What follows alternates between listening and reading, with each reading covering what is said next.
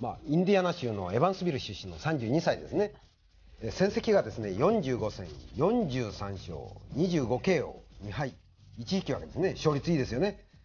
91年ですね、当時マニュエル・メズナーが持ってた IBF の世界フェザー級タイトルに挑戦したんですけど、この時は負傷判定負けしたんですね。9ラウンドでした。ところですね、93年、えー、っと、まあ一度負けてるそのメディナにですね、12回判定勝ちで IBF 世界フェザー級タイトルを獲得して、それ以降、10度防衛してるんですね。はい、非常にその堅実で、そしてパワフルな、その安定したチャンピオンですね。うん、はい。浜田さんはこのチャンピオンについてはどういう印象ですか、はい、まあ、やっぱりですね、フェザー級では、あフェザー級とは思えないような体力ですよね。えちょっと東洋選手だったら体力で押されるなっていうぐらい体力ありますよね。それと、やっぱりパンチが強いですね。はい、そして、やっぱりパンチが強い分、体固めて打つんで、体はあ硬いところはありますね。あそうですはい、はい。さあ挑戦者がベネズエラのラモン・グスマンなんですが以前あの葛西選手と対戦したことがあります。こちらもお願いします。はい。ベネズエラのラガイラ出身の29歳ですね、まあ、この選手の戦績は26戦。21勝 20KO 21勝中 20KO してるんですね、はい、5敗です、えー、94年ですね。あの当時ベネズエラ遠征中の葛西選手とクイのラテンアメリカジュニアフェザー級タイトルその争ってですねこの時は6ラウンド TKO 勝ちしてますね、はい。ところがその後ですねヨベル・オルテガラファエル・デルバレ。この選手にちょっと連敗してるんですね、えー、非常にパンチがあるんですけどちょっと打たれもろさがある。強打のファイターですね。はい、はい、さあどんな試合になりますか？ご覧いただきますがこの試合はですね時間の関係でハイライトでご覧いただきます、えー、8月の31日アイルランドのダブリンで行われた試合。ポイントアリーナで行われています IBF 世界フェザー級タイトルマッチトム・ジョンソン対ラモン・グスマンの一戦です Here we go with the IBF Featherweight Championship of the World scheduled for 12 rounds of boxing. Presenting first the challenger on my left, fighting out of the red corner, wearing blue trunks with red and yellow trim. He joins us all the way from La Guaira, Venezuela. He weighed in at 8 stone, 13 and 1 quarter pounds, or 125 and 1 quarter U.S. pounds. His record stands at 21 victories, 5 defeats, with 20 wins coming by way of knockout. Please welcome the hard-hitting challenger, ranked the IBF number 12 featherweight contender in the world, introducing Ramon Guzman.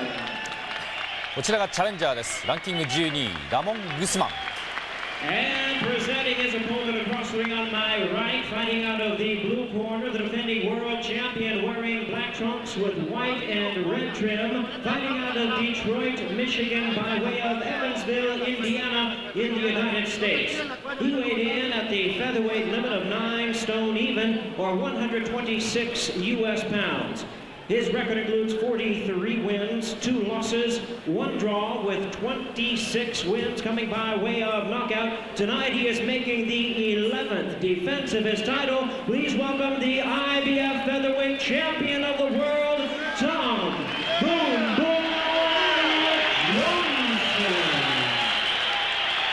チャンピオンは32歳トム・ジョンソンですこれが11度目の防衛戦です ご覧のように会場は超満員となっています。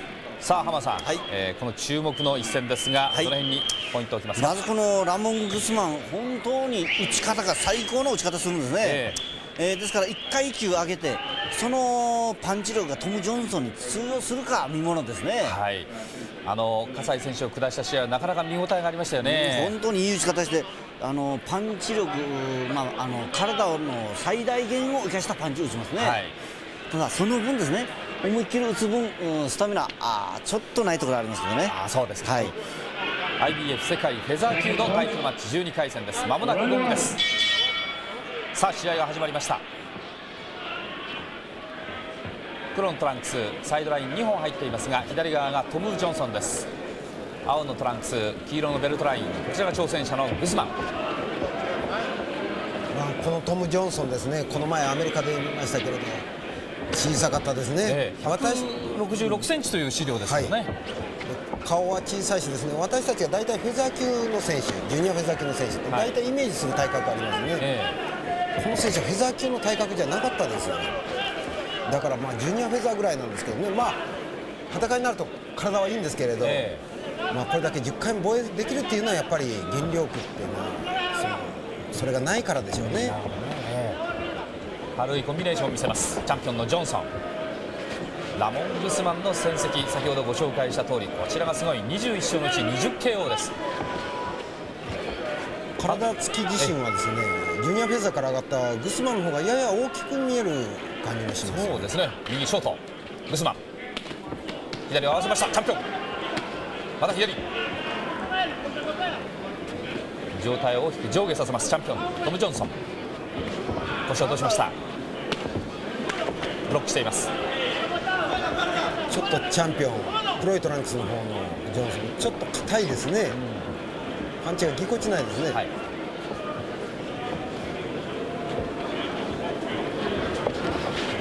浜田さん全体の硬さというのは、その本当の体の柔軟性にもちょっと影響がありあの関係しますか？確かにそれはあのあるんですけどね。ただ体はや柔らかくてもボクシングが硬い選手の結構いますから、ね、なるほどなるほどこちらはトム・ジョンソンはどう見ますか浜田さんボクシングはやっぱりあの思いっきり打つ分体硬いですね。大体、えー、力入れて打つ選手っていうのは体固めますね。なるほど。ジョンソンが少しこの辺り警戒という感じなんでしょうか小泉さん。そうですね。引いて距離を置きますパンチがあるっていうことをその事前情報で知ってますから、ね、えー、警戒して距離取りながらよく動いてます。ね非常に多彩な攻撃を持ちますトム・ジョンソン。この第1ラウンド相手をじっくり見ます。距離を置いています。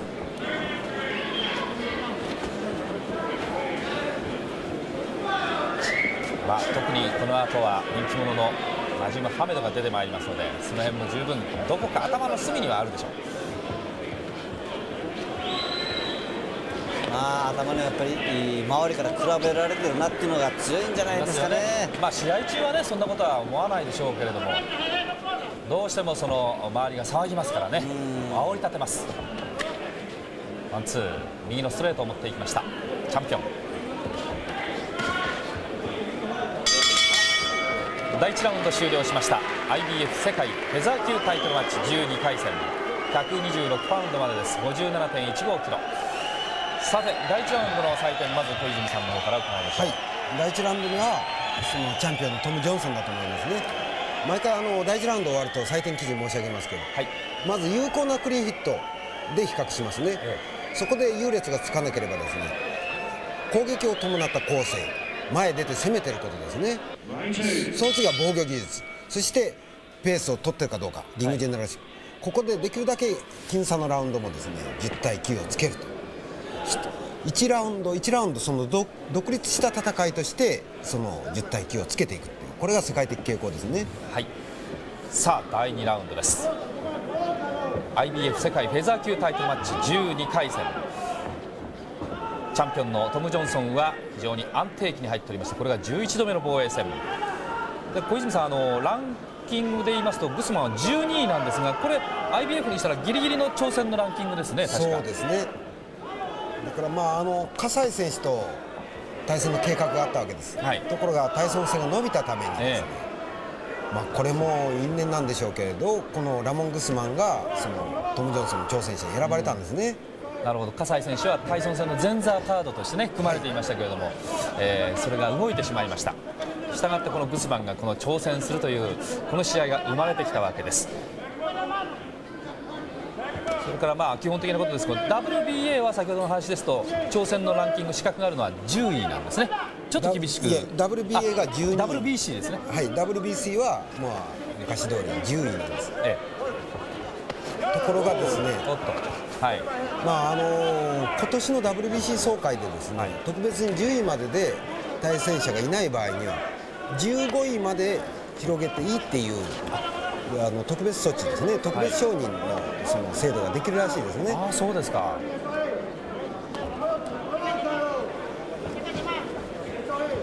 確かに昔はその10位以内に入ってないと挑戦できないんだ。挑戦資格即10位以内という頭あったんですけどね、はい、時代の流れとともにちょっと変わってきてるんですよね。左を返しました。もう一度整理しますと IBF と WBA が12位まで、はい、で WBC が現在のところ10位までという、はい、そういう資格になります、まあ、来年から15位まで、はい、いうことになりますね。WBC さあ試合の方第2ラウンドに入っています。浜さん第2ラウンドは第1ラウンドと比べてどうでしょうか、うんまあ、あのグスマンはもう少し変化つけるといいと思うんですけどね、えー、トム・ジョンソンの方はタイミング合ってますよね。はいまあ、それがあるんでグスマンも変化つけて打っていけないというところはあるかもしれないんですけどね、はい、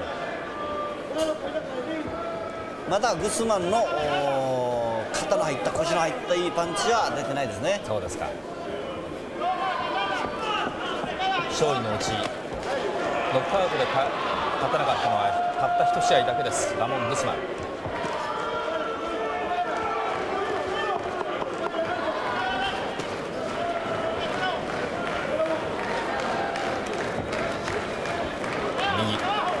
危ないですね、えー、不用意にそういうジャブ出してるとあの打ち下ろしの右クロスきますね、はい、第2ラウンド終了しました。こちらはチャンピオンコーナーです。まあ手数も多かったですし相対的にそのグスマン攻めてないですからね、はい、だからこのラウンドは、えーとチャンピオンのトム・ジョンソンですね今ジョンソンのコーナーが映っていますがラモン・グスマンの方はここのところこれ2連敗してますね。しかも KO でそう投げてますよね。こちらが挑戦者コーナーです。だから上のクラスへ上がってですねラファエル・デル・バーレ。これあのプエルトリコの元 WBO の、えーと、バンタム級チャンピオンですね、はい、これとラテンアメリカのフェザー級タイトル戦ってなんと11ラウンド。KO 負けですね、葛西選手と戦った試合、まあ、放送しましたけどあの時は強いなパンチあるなっていう感じしましたけどね。葛西選手に勝った後その後一つ勝利をした後2連敗しています。挑戦者のラモン・グスマン。ブルーのトランクスです。チャンピオンが出ていきます IBF 世界フェザー級タイトルマッチ12回戦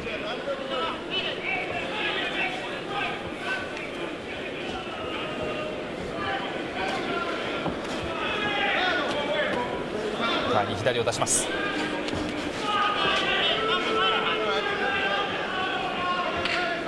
チャンピオンのトム・ジョンソンは43勝のうちの25が KO 勝利です。32歳。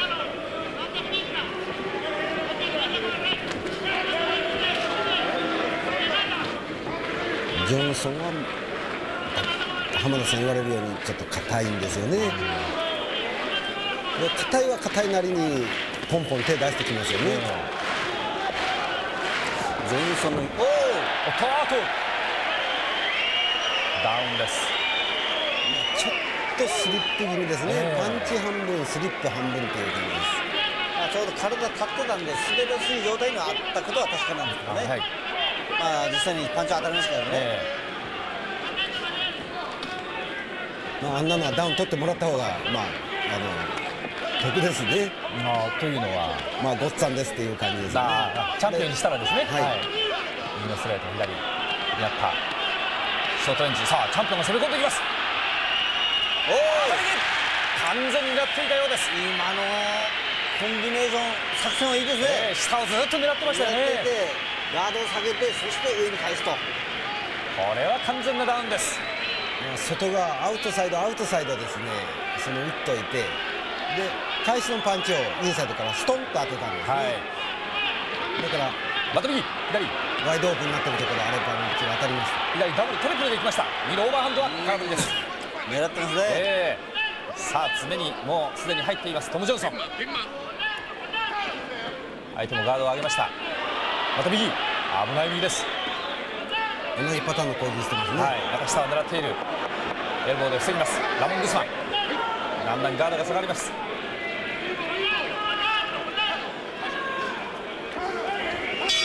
ああこれゴングになりました。第3ラウンド終了しましたがグスマンに2つのダウンがありました。10対7ですね。はい。からダウンが1度あると10対8ダウンが2度あると10対7ですね明らかなラウンド第3ラウンド。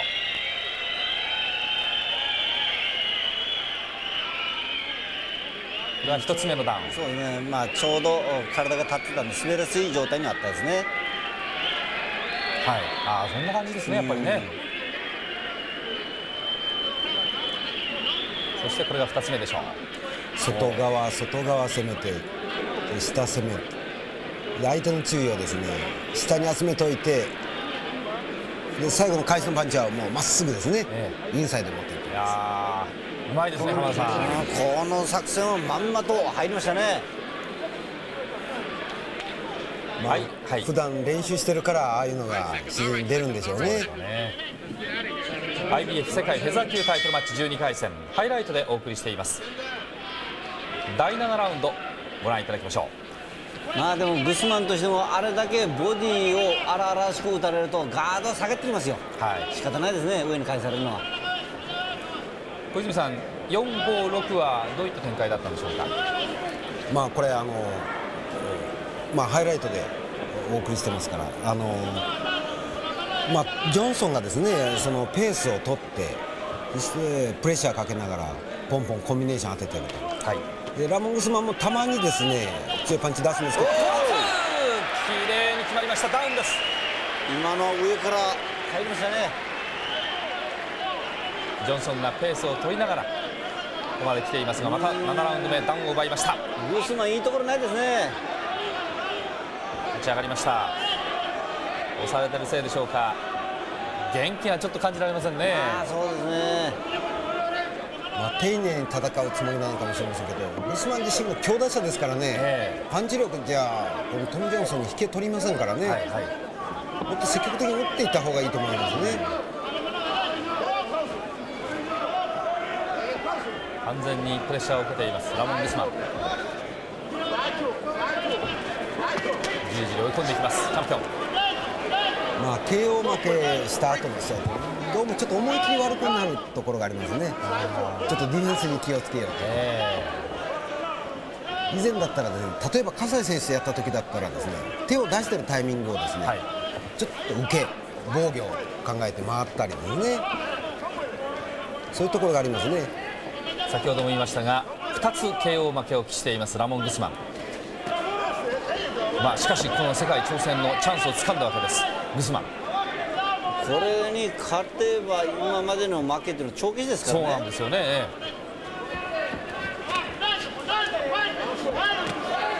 攻め込んできますチャンピオン。まあいろいろな運を持った選手がいますけれども。この選手もグスマンこういう場を与えられたということはその運なんですよね。持ってるわけでしょうね、はい、力はあっても挑戦できないままそして力が落ちてきた時にやっと挑戦が巡ってきたと、えー、ありますよね。いう選手がほとんどですからねそういった意味では潜在一遇のチャンスかもしれません。ラモン・グスマン。右合わせました。今小さなパンチですが何か交代します。また上返すんじゃないですか、えー、右。上返していきました。また一緒ですね。そうですね。これが有効です。今日のチャンピオン。ボディを思いっきり打ってると誰でもガン下げてきますよ、はい、さあよーここで右ガードが下がるのを見ています下が見ていますトム・ジョンソン、うん、左から右。これは上がっていません。さあまた体を使いながらですがあこれゴムがなりました。第7ラウンド終了です。攻めてはいますけどトム・ジョンソンの攻撃も危ないんですよね、えー、頭の位置が攻めてる間変わってないでしょ。あれいい選手だったらですね攻めてちょっと足の位置頭の位置変えるんですけどねこれはダウンを奪いました。第7ラウンド。これはいいパンチだったです。10対8ですね。はい。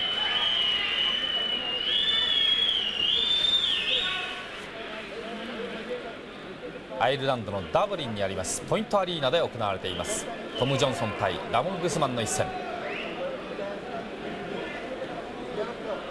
まあファンのお目当てはこの後の試合ですナジーム・ハメドが登場してまいりました。しかも相手がマヌエル・メディナということで試合前からかなりの盛り上がりを見せています。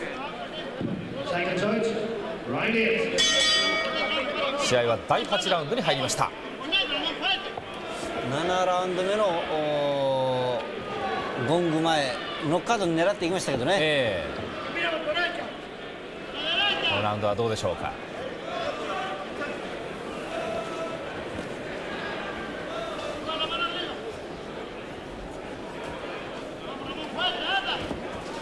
強打のファイターラモン・グスマン。今日はその強打が当たりません。本当に押されっぱなしで、えー、いいところないですね。どれぐらいグスマンのパワーが比較になるかと思ってましたけどね、はい、パンチの良さ強さっていうの出てないですね。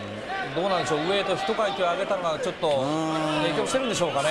そうなるんですかね、まあ、もちろん1階級上げればパンチ力違ってくるのは確かなんですけどね。そんな無理があるような感じには見えないんですよね。ですよね。やっぱりその前勝連続 KO で上がってきた時の勢いが前回のノックアウト負けでやっぱり自信なんでしょうかね。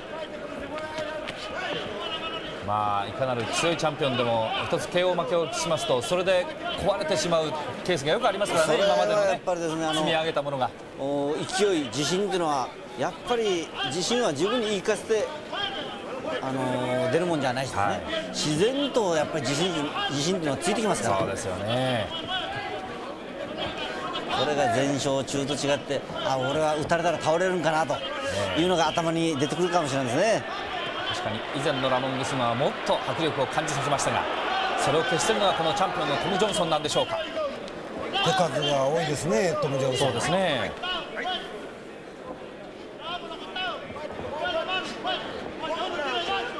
パンチをくぐります。随分と余裕が出てきましたトム・ジョンソン。まあ、考えてみるとこのラモングスマンはちょっと運がないですね。はい、葛西選手に勝って世界一に上がったんですけどね、ええ、その WBA からですねその1位であることを証明するその挑戦者確認試合っていうのがあるんですね、え、それでヨベロ・オテガになんと負けてしまったんですね、で一度負けてアントニオ・セルメニョ同国人のですね、はい、まあ、今度葛西選手が挑戦するそのチャンピオンなんですけどアントニオ・セルメニョへの挑戦を棒に振ってしまったんですね。はい左を出しました。ラモン・グスマン。そういった意味では、まあ、ついてないのかもしれませんがとにもかくにもこの世界挑戦。まあ私はまあ挑戦できることは運があるというふうに見ますけどね、えー、やっぱり世界で何人も待ってるわけですからね、挑戦権そうですね、はい、第8ラウンド終了です、まあ、このラウンドもそのトム・ジョンソンポンポン手数出してますからね、はい手を出して当たらないとですね有効なクリーンヒットの評価ができないですね、ええ、手を出さないっていうのはやはりそのポイントを取れない、まあ、当たり前のことですけれども、まあ、トム・ジョンソンのラウンドです。まあ、あの今、ついてないという話しましたが小泉さん。一方のチャンピオントム・ジョンソン。チャンピオンのキャリアとしてはこれ11度目の防衛戦なんですが、はい、これまで割とこう数奇な運命といいますか、えー、自分のですね、えー、信頼するマネージャーが2人も続けて殺害されたというねそうですね。嫌なプライベートの面を持ってますよね。そしてですねあのまあ、マディソン・スケアガーデンと提携してたんですよね、はい、契約してたんですけどその後ですねジェームス・トニーのマネージャー女性マネージャージャッキー・カレンさんとついたんですけれども、まあここでもっとその大きな試合に出て大金稼ぎたいっていうんでドンキングプロモーションとプロモート契約したわけですねこの試合はハイライトでお送りしています。11ラウンドご覧いただきましょう。IBF 世界フェザー級タイトルマッチ。依然として構成はトム・ジョンソンが取り続けていますが今ラモン・グスマン打っていきました。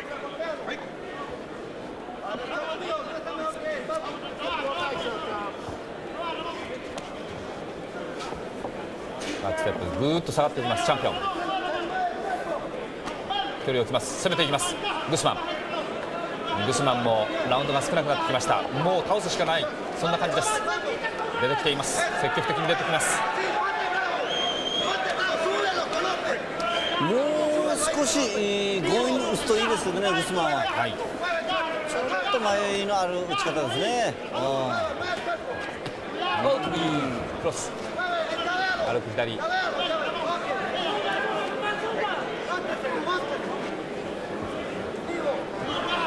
モン・グスマンダウンを期しながらもここまで来ています。あと勝負は2ラウンド。ジョンソンこのグスマンを倒して試合を決めることができますか？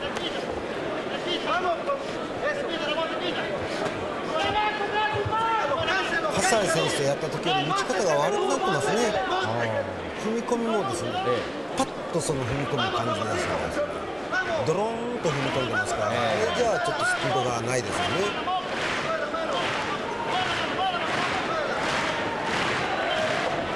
声援が起こっています。ダブル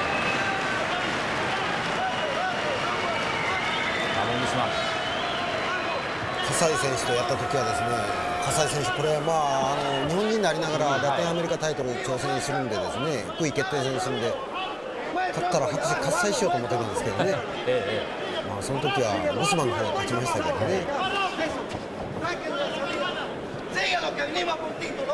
左のストレートですのボディ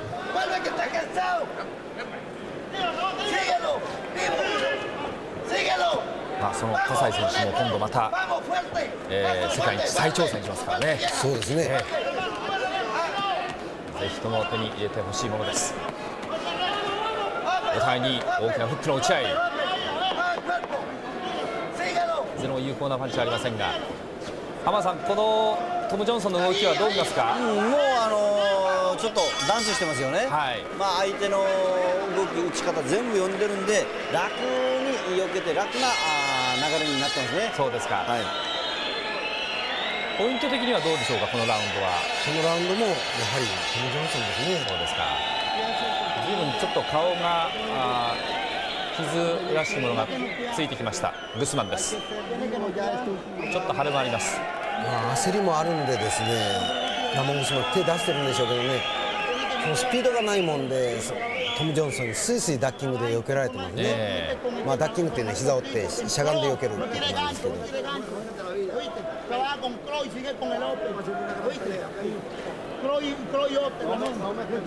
まあ、手を出せっていうこと言われてるんですね確かにどのセコンドでも言うでしょうね。この試合のグスマンはちょっと手数が少ないです、はい。これがおそらく2連敗してるそして29歳という年齢を考えますとグスマン最後の世界挑戦かもしれません。そしてこれが最後のラウンドかもしれません。まあグスマンとすればダウンも取られてるのかじゃないと勝てないでしょう。そうでしょうね。まず勝つことはできないでしょう。IBF 世界フェザー級のタイトルマッチ。クラスを上げてのトム・ジョンソンへの挑戦だったんですがここまではいいところはありません。ベネズエラのラモン・グスマン。さあ一方のトム・ジョンソン11度の防衛は KO で飾ることができるんでしょうか。こ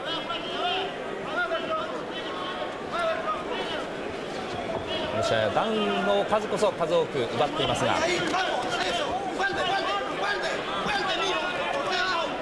やはり詰めてきます。グスマン。左カウンターを返します。チャンピオン。あ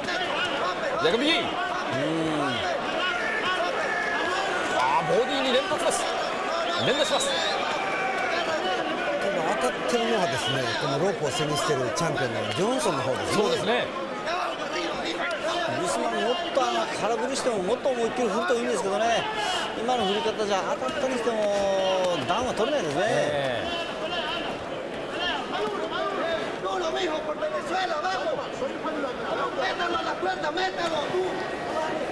ボクサーってねやはり勢いの波っていうのがあるんですよね。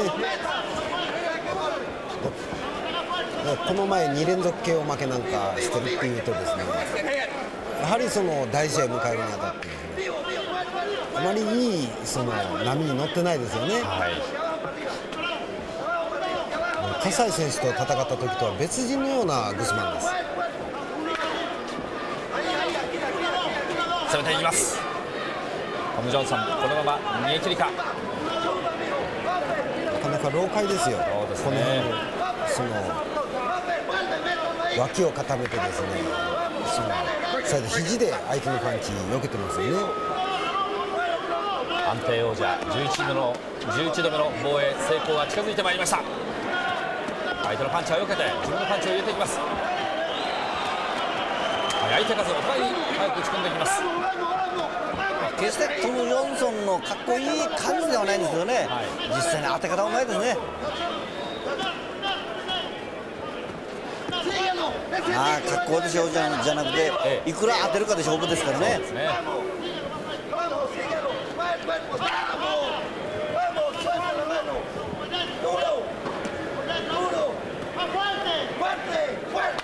強くてフェアとフェアって言ってますね。思い切ったパンチ当てないとノックアウトしないと勝てないですからね。もう時間がありません。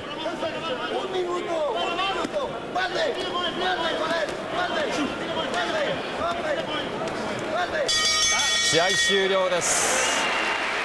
判定になりますがおそらくだいぶ大差がつくんではないでしょうか。ラストラウンド小泉さんどうでした？ラストラウンドもやはりトム・ジョンソンですね。はい。ジョンソンの方がパンチが的確だったですね。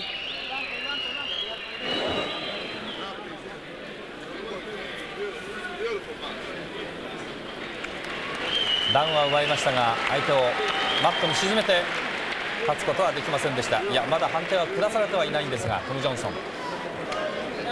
ポイントではもうおそらく大差がついていると思われます。IBF 世界フェザー級タイトルマッチ Ladies and gentlemen, after 12 rounds of action,